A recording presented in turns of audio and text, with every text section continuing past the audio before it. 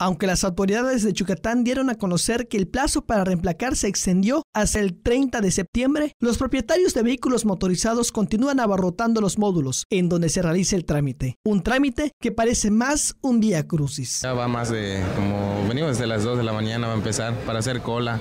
Y es que las instalaciones no son las adecuadas para un lugar en donde a diario se dan cita varios cientos de ciudadanos. Baños, este, no hay papel, no hay agua, está atorado el vacío. Sea, es lo que uno tiene que atender, aparte de los costos que implica estar aquí.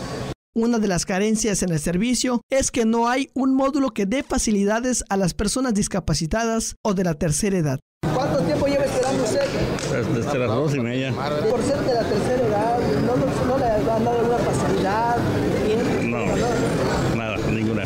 Este trámite ha sido duramente cuestionado, pues el desembolso de los propietarios de vehículos puede ser de 1.500 pesos para los vehículos particulares e incluso hasta los 2.500. Telemar Noticias.